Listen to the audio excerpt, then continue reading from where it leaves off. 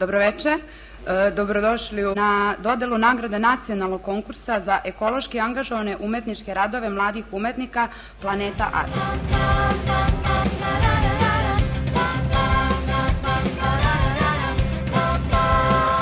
Mladi ljudi treba da rade ovako lepe stvari, a ne da se bave nekim drugim vidovima muzike koji su jako popularni kod nas i svaka pohvala za ovo. Jedan aplauz, molim vas. A ovde možete vidjeti jednu lepu panoramu Obrenovca. Nigde se ne vidi kao odavde. Malo zaklanja sada rastinje. Tu je Varoš Obrenovac. Mnogi od vas su vjerovatno videli i one slike iz aviona sa poplavom. Nisu shvatili da nafta i ugalj ipak ne mogu da pokreću zemlju i njene žitelje. Dim i smog nije pomutio umove velikih korporacija, moćnika i bogatih pojedinaca.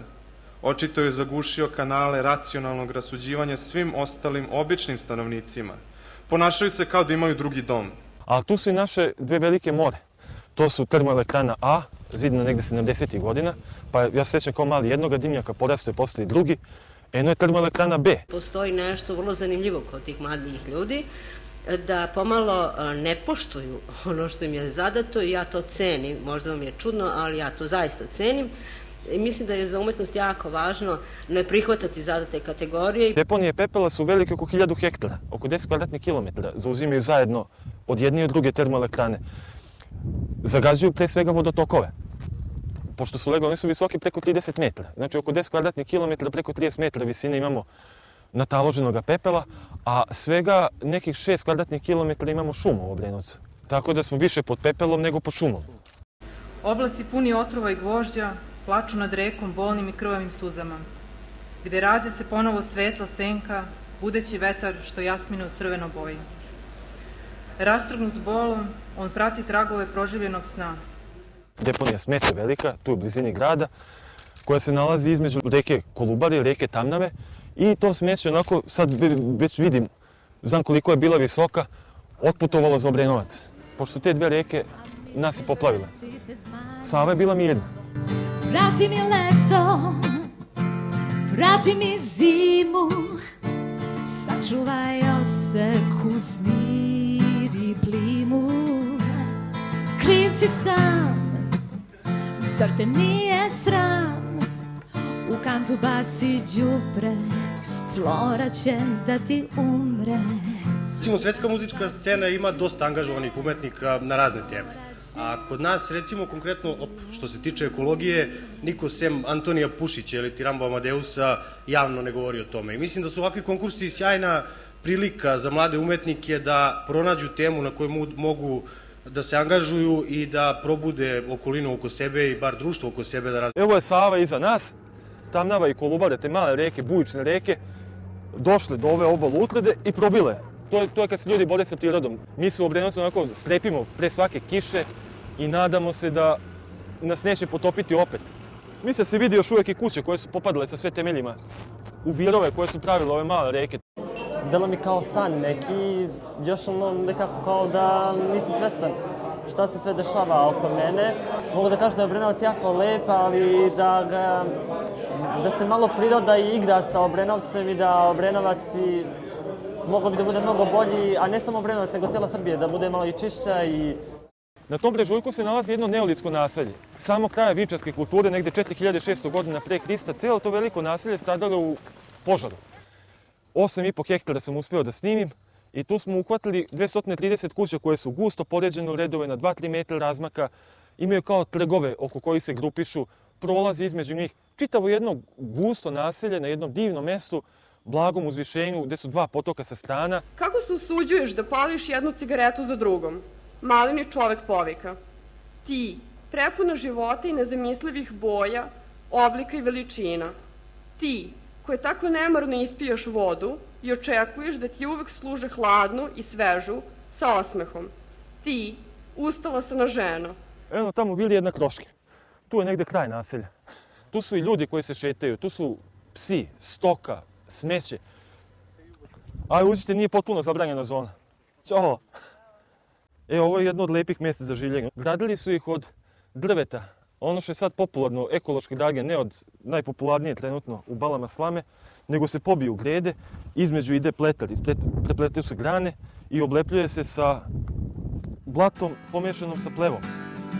Sante leda lagano se tope, al to ne plaši tvoje biće Uskoro će biti sitnije, lakše staće ti u piće Tu nam je istreslo jedan vanredni nalaz od 47 tih figurinica. To vam izgleda onako kao da vam neko u kovertu stavi pismo iz prošlosti, pošto su bile, uslovno rečeno, pravilnoj informaciji. Na mesto su bile gde su se nalazile i u vreme rušenja kuće sa jednom centralnom koja je različita od drugih. Ove su iste, kao da im nije bilo bitno da prikažu bilo kakvu antropomocnu karakteristiku. Jednostavno kao da vam jedinka nije bitna.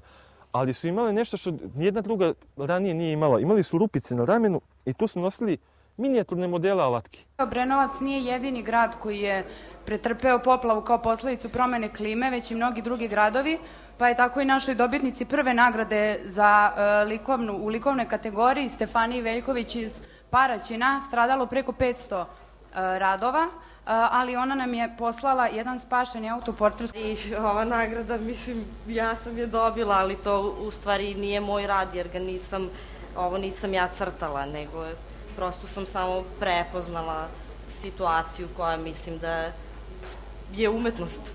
Ko je crtao rad? Ja sam.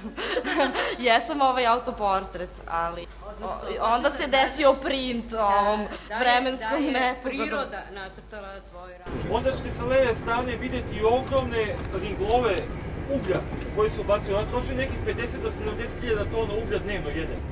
To je ugalj iz onih poplavljenih bazena na Kolubari.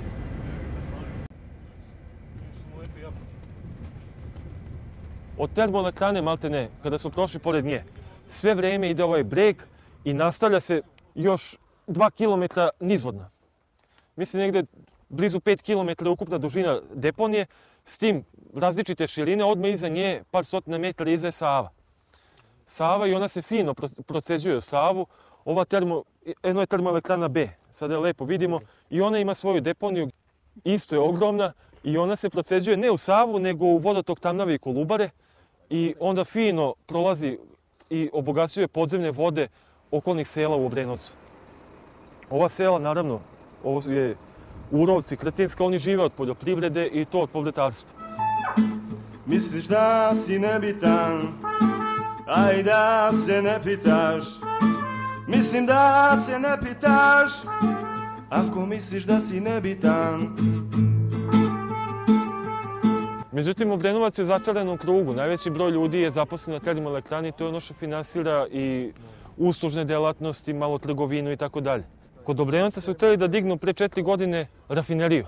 Tamo gde je onaj veliki kompleks hemijske industrije, kao biće rafinerija, pobunili smo se, ništa od toga naravno nije bilo, to je bio ko zna kakav aranžman, ali je tad od zvaničnika došla informacija da je bolje da se umre od zagađenja nego od gladi.